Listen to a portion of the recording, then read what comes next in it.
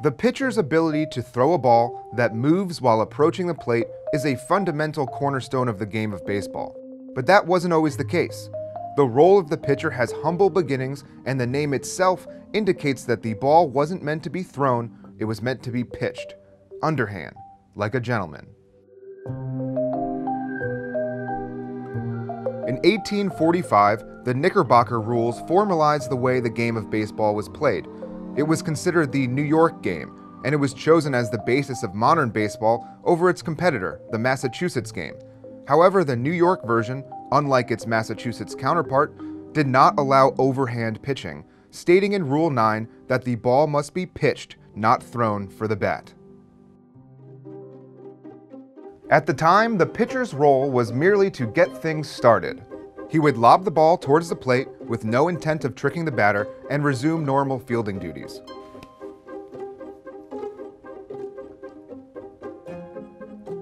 The rules surrounding pitching grew alongside the sport.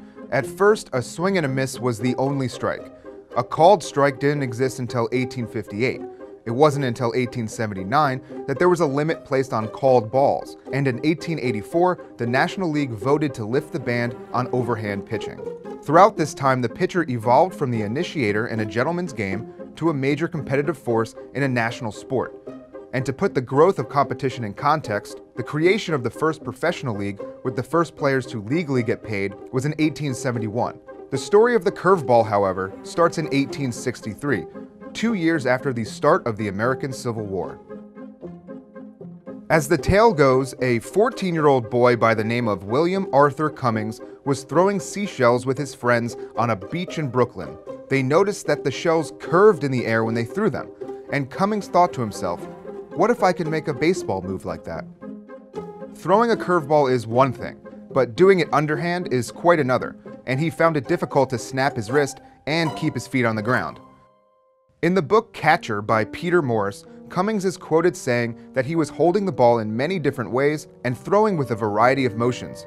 Of course, many of the ways in which I held or threw the ball were useless. Four years after beginning his quest to throw a curveball, Cummings was a star pitcher for the Brooklyn Excelsiors, an amateur team. It was here that he earned the nickname Candy, a slang term for the best in the 19th century, and he did so without unveiling the pitch he had spent years figuring out. According to the Society of American Baseball Research, that moment finally came on October 7, 1867, just shy of his 19th birthday. The Excelsiors were playing Harvard College at Jarvis Field in Cambridge, Massachusetts. Cummings had already given up a run when Archibald Bush came to the plate. Years later, he would admit that he was afraid of Bush's prowess at the bat, so Cummings decided to unleash the curve. He later recounted the moment to the Boston Daily Globe. Snapping the ball with a wrist movement and getting it to spin through the air caused an air cushion to gradually form around the ball, turning it in the direction of the least resistance. When he struck at the ball, it seemed to go about a foot beyond the end of his stick. I tried again with the same result, and then I realized that I had succeeded at last. Candy Cummings had done it, but he hadn't quite perfected it. And the day was bittersweet as the Excelsiors lost 18 to 6. But he continued to practice the pitch, and when he went pro in 1872, Cummings, with his curving pitch, was considered one of the best. In each of his six professional seasons, he placed in the top 10 in strikeouts.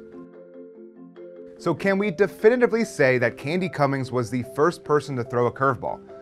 No. Like when you heard your teacher smoke pot with the cool kids, it's basically just a series of uncorroborated stories. In 1869, a reporter watching Brooklyn Eckford's pitcher, Phonney Martin, described him as an extremely hard pitcher to hit for the ball never comes in a straight line but in a tantalizing curve. New York Mutual's pitcher Fred McSweeney claims to have thrown a curve in 1866, but perhaps the biggest name opposite Cummings in the curveball debate is Fred Goldsmith. Goldsmith claimed that he was the first to publicly demonstrate the feat in 1870 when he set up poles on a field and threw a pitch that curved around them. There are, however, people who claim that demonstration was another man, not Goldsmith and others say there's no evidence to support any such demonstration ever took place.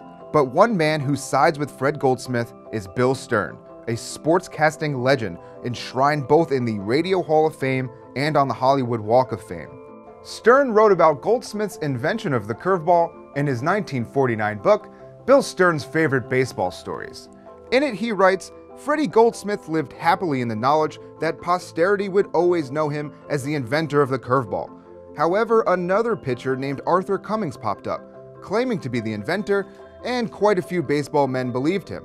When Freddie Goldsmith heard about this, it broke him up completely. Ill and bedridden at the time, he died a broken-hearted man, pathetically maintaining to the end that he and only he was the original inventor of the curveball.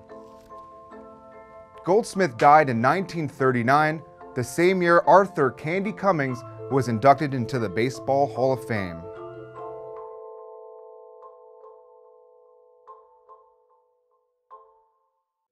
Thanks for watching. Here's a couple other videos you may like.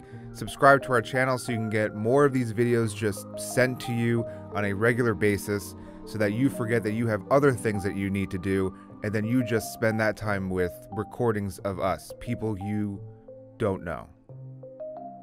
Bye.